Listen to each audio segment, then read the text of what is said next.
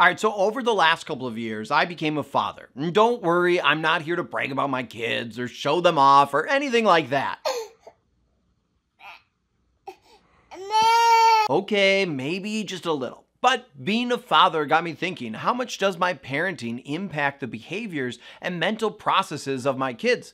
and how much of it is influenced by their genetics. Luckily for me, the first unit of AP Psychology can help. So today we are going to start to explore this question as we learn about the interaction of heredity and environment. Now, when you hear the term heredity, think of nature. This is genetics, the predisposed characteristics that influence an individual's physical, behavioral, and mental traits and processes. And when you think of environment, think of nurture. This is the external factors that an individual experiences, such as a person's family, their friends, school, and other societal factors. Oh, and real quick, before before we go on, I should mention that if you want to make sure that you don't miss any of the important concepts in this video, make sure you click the link in the description and get my guided notes. Alright, so we now have an understanding of heredity and the environment, but I still don't have an answer to my question. And I'm curious to know if it is heredity or the environment that led to such magical family moments like this.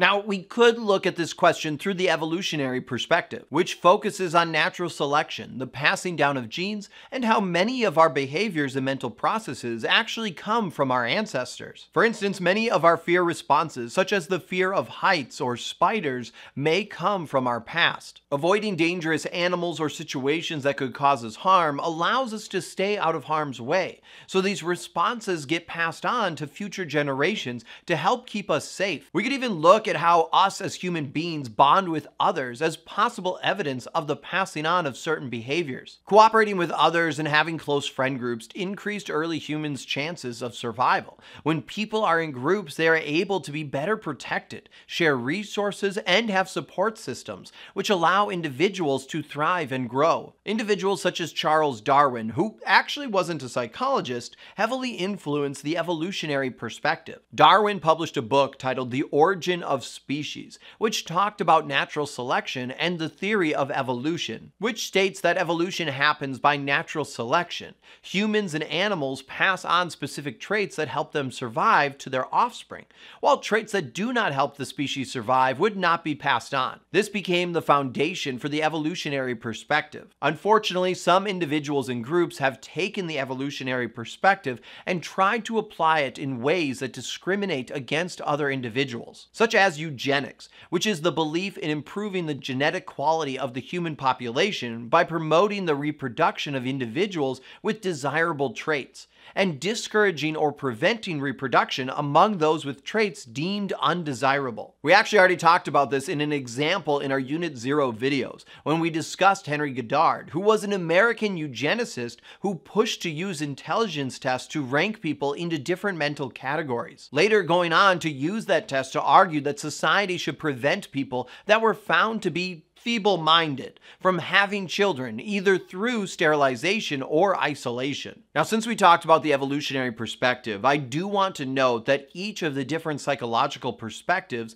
have a different view on the nature versus nurture debate. We can see that depending on the perspective, they may lean more towards the nature side or more towards the nurture side. If you need a quick recap on any of these perspectives, you can check out my psychological perspective video after you finish this video. Now, one of the ways ways we could try to better understand the influence from nature or nurture is by looking at heritability, which is a mathematical measure to estimate how much variation there is in a population related to its genes. Notice here I said population. These estimates only apply to populations and not individual people. For instance, if the heritability for a trait is 0.7, that means 70% of variations of the trait in a population is caused by genetics, and 30% is due to the environment. Heritabilities can range anywhere from 0 to 1. Later in this course, we will talk about reciprocal determinism, which connects back to this discussion, but that is for another day. So if we look at heritability, we can see that it is not nature or nurture, rather it is nature and nurture. Both heritability and the environment shape individuals' behaviors and mental processes. So I guess those special family memories are due to my parenting style, the environment I create, and my kids' predisposed characteristics, such as their temperament. Philip. Come on.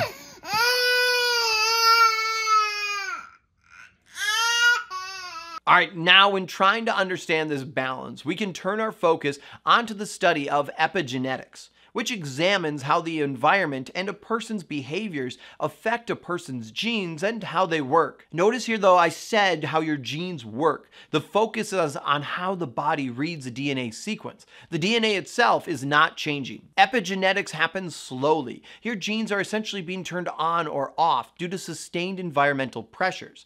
This is not something that happens because of one situation. One concept some students get confused with when talking about epigenetics is plasticity plasticity. This is when the brain changes and builds new neural pathways in response to a person's experiences. We'll go more into plasticity later in this unit when we talk about the brain. Now, one way researchers have studied the impact of heredity and the environment on behaviors and mental processes is through twin studies, adoption studies, and family studies, such as the Swedish adoption twin study on aging, which was a long-term study that focused on how genetics and the environment affected aging. The study focused on twins who were separated at birth and raised in different families, as well as twins who were raised together. Researchers wanted to see how the participants in health, personality, and habits differed over the years. To do this, researchers collected data through questionnaires and in-person tests, all of which focused on health, memory, and cognitive abilities. The study had seven rounds of testing and found that participants' genes and the environment impacted the participants' personality, health, and health related behaviors, further supporting the idea that it's not nature or nurture,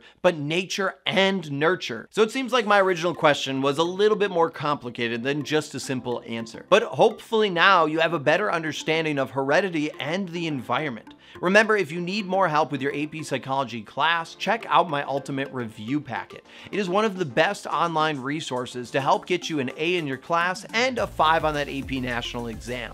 As always, I'm Mr. Sinn. Thank you so much for watching, and I'll see you next time online.